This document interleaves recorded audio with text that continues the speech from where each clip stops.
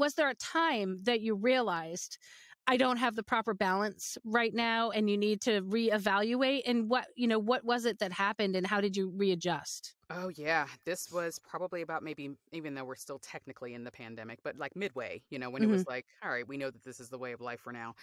I had been just like throwing myself into so many workshops, and a lot of them were LA based. So, you know, I'd be working all day, doing auditions, maybe cook dinner, and then, you know, in a workshop till one in the morning. And it was just like I was exhausted, I was drained, I was burnt out.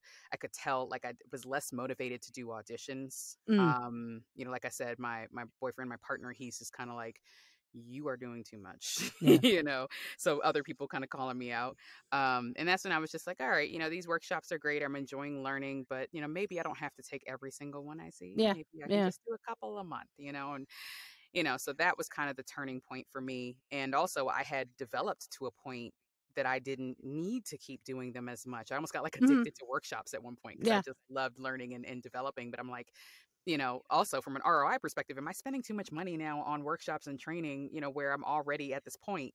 So that was another turning point to be able to say, all right, I need to spend more time on working and making the money and maybe mm-hmm. to reinvest on the training. Yeah, yeah, yeah, yeah.